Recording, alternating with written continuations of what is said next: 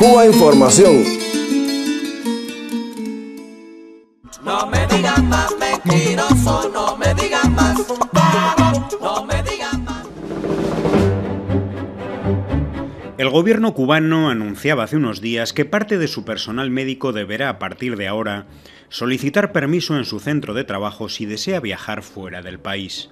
La medida afecta solo al personal especialista que deberá adaptar sus salidas a la cobertura de las necesidades de salud de la población que atiende. La causa, los problemas organizativos en el sistema público de salud debido a la emigración de profesionales. La medida estaba prevista ya en un decreto de 2012 que no se venía aplicando. La decisión plantea un dilema entre el derecho a la salud de la población y el derecho individual a la movilidad de estos médicos. ¿Cuál debe prevalecer? Es un debate de carácter ideológico sobre el que los grandes medios esconden información esencial. Repasemos. La decisión de La Habana fue tomada tras la reunión del pasado 30 de noviembre entre los gobiernos de Cuba y Estados Unidos. Cuba exigió allí la derogación de las leyes y programas de la Casa Blanca que convierten la emigración cubana en un arma de guerra. Por un lado, la ley de ajuste cubano, que privilegia a los cubanos y cubanas que llegan por cualquier vía a territorio estadounidense, otorgándoles asilo, residencia y ventajas sociales y por otro, el programa Cuban Medical Professional Parole, que aplica semejantes ventajas en exclusiva al personal sanitario de Cuba. Dado que en dicha reunión la delegación de Estados Unidos se negó una vez más a derogar estos programas, el gobierno de la isla decidió implementar el citado control de salidas. Recordemos que Cuba es un país del tercer mundo, pobre en recursos y bloqueado por la mayor potencia económica del planeta. Paradójicamente, la formación de manera gratuita durante años de centenares de miles de profesionales sanitarios constituye hoy su mayor fortaleza social y también económica. El sistema cubano de salud pública universal y gratuita es, según Margaret Chan, directora general de la Organización Mundial de la Salud, un modelo y ejemplo para otras naciones del sur. Es una opinión refrendada por Carissa Etienne, directora general de la Organización Panamericana de la Salud. Logros como ser la primera nación en eliminar la transmisión materno-infantil del VIH-Sida, haber logrado el mayor porcentaje mundial de médicos por cada mil habitantes y la menor mortalidad infantil de América, incluyendo Canadá, o haber hecho accesible a la población medicamentos de vanguardia como la vacuna cubana contra el cáncer de pulmón avanzado, son algunos ejemplos de este éxito.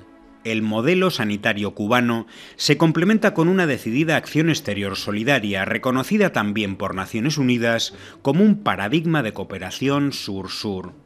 Algunos ejemplos, más de 50.000 médicos cooperantes en 67 naciones, más de 4 millones de personas sin recursos de Latinoamérica o África operadas gratuitamente de la visión en la llamada Operación Milagro, 24.500 médicos generales integrales de 83 naciones graduados en la Escuela Latinoamericana de Medicina, o miles de vidas salvadas por la Brigada Henry Reeve, especializada en desastres y graves epidemias, en intervenciones memorables como la que hizo frente al ébola en África Occidental o al cólera en Haití. Recordemos que este contingente Henry Reeve nació en 2005 como una propuesta de ayuda médica a Estados Unidos tras el huracán Katrina.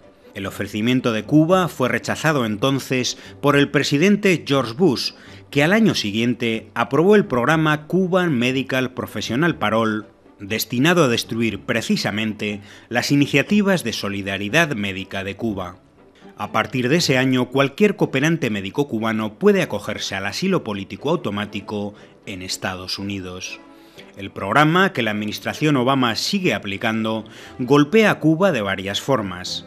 Una, afectando al sistema de salud de la isla, al que sustrae personal altamente capacitado y formado gratuitamente durante años.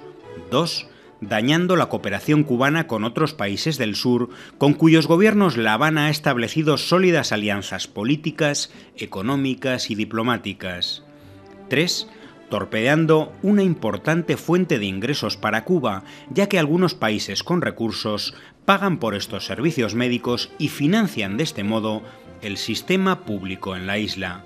Y por último, ensuciando la imagen del gobierno cubano gracias a la complicidad de los medios internacionales, que mientras silencian su ejemplo solidario, magnifican los abandonos de sus cooperantes.